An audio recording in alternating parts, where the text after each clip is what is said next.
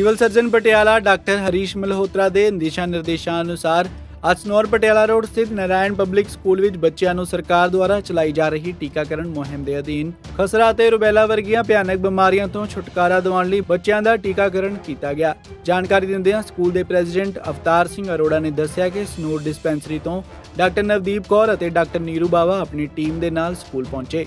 Nursery ਤੋਂ ਲੈ ਕੇ 7ਵੀਂ class ਦੇ ਵਿਦਿਆਰਥੀਆਂ ਨੂੰ ਇੰਜੈਕਸ਼ਨ ਲਗਾਏ ਗਏ। ਇਸ ਕਾਰਜ ਵਿੱਚ ਵਿਦਿਆਰਥੀਆਂ ਦੇ ਮਾਤਾ-ਪਿਤਾ ਨੇ ਵੀ ਆਪਣੀ ਸਹਿਮਤੀ ਦੇ ਕੇ ਸਕੂਲ ਦੇ ਪ੍ਰਿੰਸੀਪਲ ਹੇਮਾ ਚੋਪੜਾ ਨੂੰ ਸੰਪੂਰਨ ਸਹਿਯੋਗ ਦਿੱਤਾ ਹੈ, ਤਾਂ ਕਿ ਦੇਸ਼ ਵਿੱਚੋਂ ਅਜਿਹੀਆਂ ਭਿਆਨਕ ਬਿਮਾਰੀਆਂ ਨੂੰ ਜੜ ਤੋਂ ਖਤਮ ਕੀਤਾ ਜਾ ਸਕੇ। ਇਸ ਮੌਕੇ ਏਟੀਵੀ ਨਾਲ ਗੱਲਬਾਤ ਕਰਦੇ ਹਾਂ ਸਕੂਲ ਪ੍ਰੈਜ਼ੀਡੈਂਟ ਅਵਤਾਰ ਸਿੰਘ ਅਰੋੜਾ ਨੇ ਕਿਹਾ ਕਿ ਅੱਜ ਅਸੀਂ ਸਾਰੇ ਡਾਕਟਰਸ, ਸਟਾਫ ਤੇ ਮੈਂ ਵੀ 8 ਵਜੇ ਹੀ ਇੱਥੇ ਆ ਗਏ। ਥੋੜਾ ਜਿਹਾ ਪਹਿਲਾਂ ਕੁਝ ਪੇਰੈਂਟਸ ਨੂੰ ਹੋਇਆ ਪਰ ਅਸੀਂ ਸਾਰਿਆਂ ਨੇ ਜਦੋਂ ਇਕੱਠਿਆਂ ਉਹਨਾਂ ਨੂੰ ਸਮਝਾਈ ਗੱਲ ਤੇ ਉਹ ਜਲਦੀ ਸਮਝ ਗਏ ਤੇ ਸਾਰਿਆਂ ਨੇ ਬੜੀ ਖੁਸ਼ੀ-ਖੁਸ਼ੀ ਇੰਜੈਕਸ਼ਨ ਲਵਾਏ। ਤਕਰੀਬਨ ਹਜ਼ਾਰ ਦੇ ਆਸ-ਪਾਸ ਅੱਜ ਲੱਗ ਗਏ ਹਨ।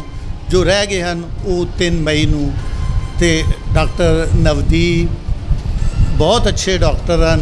ਇਹਨਾਂ ਨੇ ਬੜਾ ਕੋਆਪਰੇਟ ਕੀਤਾ ਹੈ।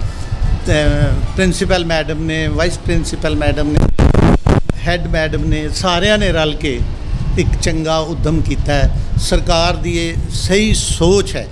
ਇਸ ਨਾਲ ਬੱਚੇ ਆਉਣ ਵਾਲੇ ਸਮੇਂ ਵਿੱਚ ਬਿਮਾਰੀਆਂ ਤੋਂ ਬਚਣਗੇ।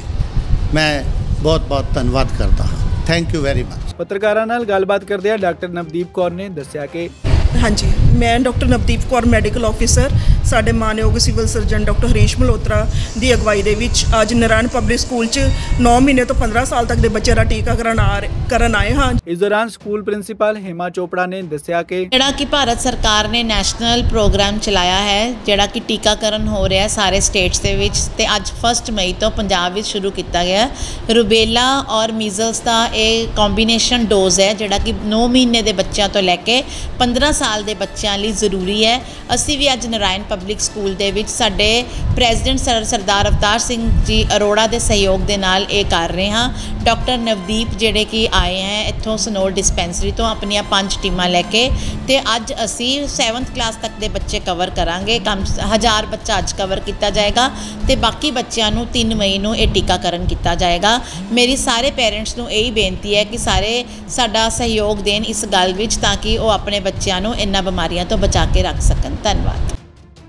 ਪਟਿਆਲਾ ਤੋਂ ਸਰੋਜ ਪ੍ਰਭਾਕਰ ਦੀ report ATV news latest news ਸਭ ਤੋਂ ਪਹਿਲਾਂ ਆਪਣੇ ਫੋਨ ਤੇ ਵੇਖਣ ਲਈ, ਸਾਡਾ ਚੈਨਲ ਸਬਸਕ੍ਰਾਈਬ ਕਰੋ ਅਤੇ ਨੋਟੀਫਿਕੇਸ਼ਨ ਲਈ ਬੈਲ ਆਈਕਨ ਜ਼ਰੂਰ ਦਬਾਓ।